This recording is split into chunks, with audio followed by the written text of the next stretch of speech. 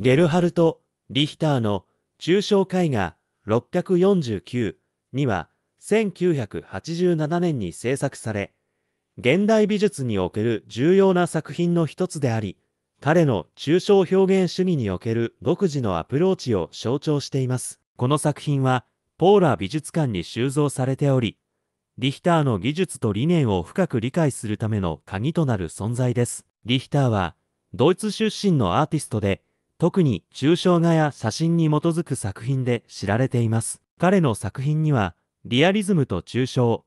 計算と偶然といった対照的な要素が組み合わさっています。抽象絵画649にもその例外ではありません。この作品は視覚的な美しさだけでなく、見る者に試作を促す深い意味を持っています。抽象絵画649には、キャンバスに塗られた多層の色彩が特徴的です。リヒターは、特に色の重なりや透明感を巧みに利用しており、色彩の混ざり合うから生まれる微妙なグラデーションが目を引きます。彼は、油彩やアクリルを使用し、筆やヘラで塗り重ねる技法を採用しています。このプロセスにおいて、彼は偶然の要素を大切にしており、予測できない形状や色合いが生まれることを楽しむ姿勢を示しています。また、リヒターは、スプレーやローラーを使った技法も駆使しており、これにより作品に独特のテクスチャーを加えています。特に、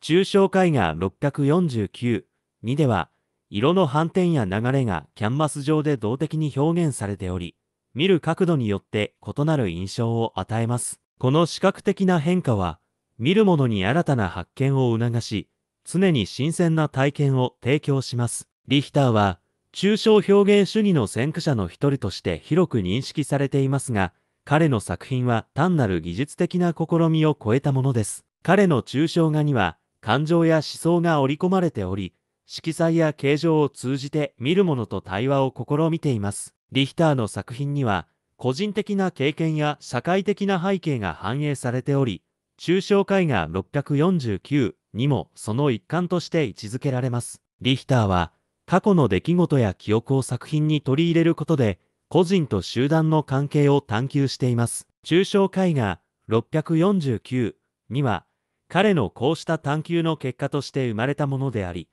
無意識の表現や感情の具現化を意図していると考えられます。作品の抽象性は、見る者に自身の経験や感情を投影させる余地を与え、その結果、各自の解釈が生まれることを促しています。リヒターの作品は、1980年代の社会的、文化的な変革と深く結びついています。この時期、ドイツは冷戦の影響を受けており、政治的な緊張感が高まっていました。リヒターは、こうした時代背景を意識しつつ、個々の存在や記憶の重要性を強調することで、社会への批評を言っています。抽象絵画649、2においても、彼は抽象的な表現を通じて、特定のメッセージを伝えるのではなく、見る者に考えさせる余地を残しています。リヒターの作品は、他のアーティストにも大きな影響を与えており、彼のアプローチは現代美術における多くの流派において重要な位置を占めています。抽象絵画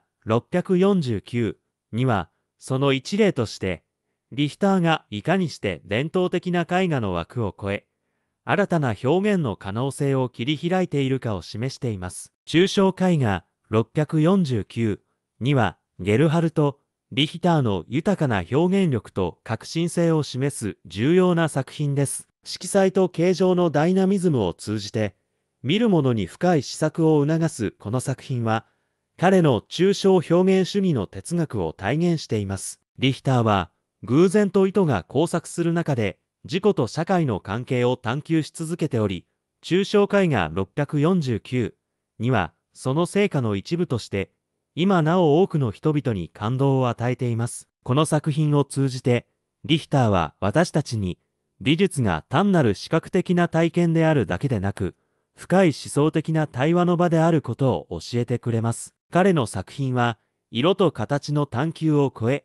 我々自身の存在や社会のあり方について考えさせる力を持っているのです。リヒターの抽象絵画649には、現代美術の重要な一端を担い、未来のアーティストたちにとってもインスピレーションの源となり続けることでしょう。